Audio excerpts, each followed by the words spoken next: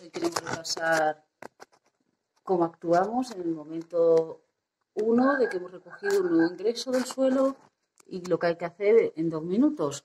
Pues lo primero, como siempre hemos dicho, lo metemos en un transportín para que esté tranquilo, lo cubrimos, ¿vale? Para que se sienta seguro y le vamos a poner su agua con vitaminas y demás y sus semillas. Si no tenemos semillas, mientras bajamos al supermercado a por las habituales que venden de canario y de periquito, le ponemos arroz, lentejas, en fin. Hay que buscar sésamo, hojas sésamo, hay que buscar quinoa. semillas para palomas o para pájaros Crudas. crudas. Entonces, una vez que lo tenemos instalado, como veis, el lecho es periódico o papel de cocina. Necesitamos ver las deposiciones, por lo cual necesitamos algo que tenga un color como este, por ejemplo, blanco. Además, si no le ponemos nada, se resbala porque es plástico. ¿Por qué un transportín? Porque eh, nos tiene que mover mucho, está en la enfermería y así le podemos poner a salvo de otras mascotas, perros, gatos, no hay ningún inconveniente. Ponemos una mesa, una estantería, cerrado y ahí no va a tener ningún problema. Bien, Las dos semanas o cuatro, lo que necesite. ¿Y qué es lo primero que siempre os pedimos cuando llega un nuevo ingreso? Pues os pedimos comprobéis dos cosas, la condición corporal para ver si está delgado o no y si tiene contenido en el buche, además de que vayamos viendo las deposiciones y comprobéis garganta, así que vamos a hacerlo en un minuto.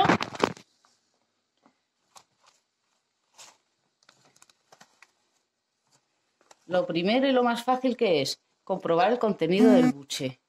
Que aquí es un saco, ¿vale? Y aquí miramos, tocas, palpas y si no notas granitos, no notas agua, no notas nada, el, el- el saco tipo globo está vacío. Así que este no ha comido nada. Así luego comprobaremos si ha tirado la comida o ha comido realmente. Lo siguiente siempre decimos comprobar que puede tragar. ¿Vale? Que está todo despejado, que no hay placas amarillas ni nada bloqueando el paso hacia el buche. Y también, ¿cómo se puede comprobar? Metiendo un granito.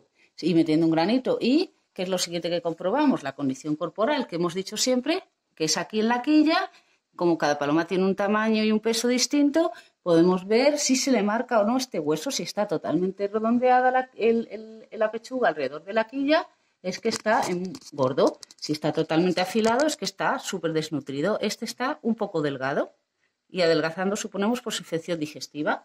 Entonces, esto es lo primero que os vamos a pedir. ¿Qué hacemos ahora? Le volvemos a meter y simplemente vamos a esperar una hora a ver si come y bebe solo. Le dejamos tranquilo y esperamos una hora antes de volver. Bueno, ha hecho ya una deposición. Ya nos está indicando que tiene una infección digestiva seria. o bien que hace mucho que no come, pero en principio Hombre, ese verde- suelen ser las dos cosas asociadas. Y el verde siempre es malo. Ya hablaremos de las deposiciones. Entonces vamos a esperar una hora y volvemos. Bien, ya ha pasado una hora, vemos que no se ha movido y vamos a ver si ha comido y le vamos a dar, si no ha comido, su suero de lactato, 5 mililitros y algo de medicación. A ver, volvemos a ver. Nada, aquí hay un vacío absoluto. Entonces, lo primero que vamos a hacer, que ya teníamos pensadas las- las- la medicación, como está bastante mal, se vamos a poner inyectable. También en el suelo hemos metido más medicación, pero eso es un tema aparte que veremos en otro vídeo. Entonces le vamos a poner ya su medicación y darle suero, porque primero siempre vamos a dar suero y ya cuando veamos que funciona el digestivo, aparte eh, le daremos papilla en base suero, siempre hasta que esté mejor, porque siempre le va a ayudar. Pero primero solo suero o suero glucosado antes de meter papilla, si puede ser. Si no tenemos experiencia y no tenemos medicinas o no sabemos usarlas, si vemos que el animal no come, que las deposiciones son malas o tiene algún otro tipo de afección, que por sus síntomas podemos ver que algo le pasa, lo que tenemos que hacer es ir al veterinario con el animal y mínimo conseguir, si no, las medicinas en el veterinario. Pero lo conveniente es, si no tenemos experiencia, no sabemos qué le pasa, ir al veterinario. Esto que estoy haciendo yo, lo, lo habitual es que sea más cómodo si alguien te agarra al animal el cuerpo y tú solo manejas la, la cabeza o lo que necesites. O si no estás grabando y la tienes en las piernas apoyada con un trapito. Sí, la puedes envolver lo que es simplemente un poco las alas para que no se mueva, así las alas con el trapo y ya manejas la cabeza y ya la podemos depositar.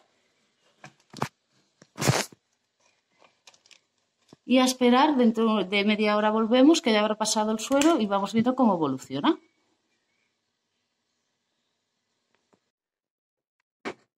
Bueno, como vemos, el móvil está como a 10 centímetros de él y lo normal en un pollo normal, eh, una paloma sana, una ave sana, que no se encuentre fatal, es ponerse de pie, irse a la esquina o intentar salir.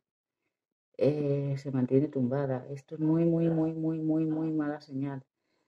Eh, probablemente esté ya en septicemia, esto es infección en sangre, que le ha podido pasar del digestivo a la sangre.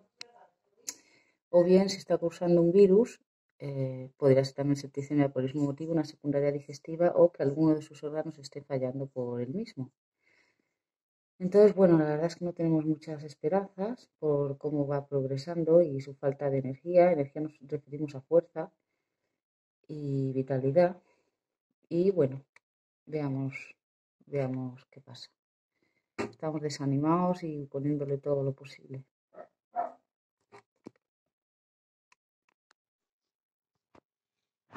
Bueno, ya han pasado tres horas Finalmente, las deposiciones son espantosas, eso no es nada. Al fondo acabado de tapar unas horribles, tiene una infección digestiva brutal, seguramente bacteriana, pero además con coccidios, ya la hemos medicado para todo.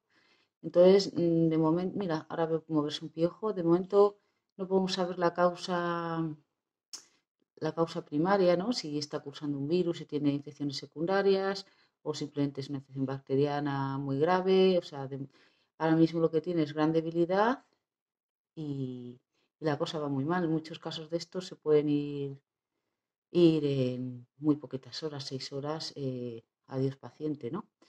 Entonces, bueno, vamos a hacer todo lo posible, vamos a ponerle más suero y probióticos, prebióticos, electrolitos, todo lo que podamos y quitarle los piojos sin hacer una desparasitación muy agresiva, porque no se puede. Bueno, pues en definitiva, ¿en qué quedamos? Lo que hay que hacer, que nos va a pasar un caso tan complejo. Poner agua, poner comida, revisar si ha comido, revisar si ha comido como es, no que lo haya tirado, porque lo tiran todo, sino que el contenido esté en el buche, que beba. En el agua vamos a añadir vitaminas, en la comida podemos añadir minerales. Además, si no come, que darle a mano, ¿no? Con sonda, o si no podemos con sólidos hidratados, que de manera segura. Eh, por supuesto, hay que ir al veterinario porque vamos a necesitar en 99% de los casos medicación, medicación para el digestivo, para el respiratorio, para lo que necesite, desparasitarla interna y externamente. Y esto es lo que vamos a tener que ir haciendo. Como veis, ocupa poco, no necesita salir de aquí hasta su liberación, no tiene que rehabilitar si no hay espacio, o sea, no hay que agobiarse por eso, no hay que agobiarse porque esté cerrado, no pasa nada porque está enfermo y después se va a liberar. Entonces, esto es para recordar que ocupa poco, que hay que hacer un chequeo eh, aproximadamente cada 3-4 horas, es decir, cuando ya están estables, puedes atenderlo cuatro veces al día, cinco minutos y ya está, o sea, no es que lleve un tiempo brutal, cuando están más graves sí que hay que estar más pendiente. Y importantísimo que por no acudir al veterinario antes de la primera noche, pues se puede ir perfectamente ir a donde, a los cielos, por los pies por delante, puesto que necesitan eh, medicinas, ya hemos dicho, y, eso pues nada, y que le alimenten, y si no te vas a atrever a sus suelos, sus cosas, y no, y no sabes medicar, ni lo tienes, tienes que ir sí o sí. Entonces no será mala suerte, si mala suerte será que nadie la ha llevado. Bueno, pues hasta aquí un repasito del ABC del ingreso.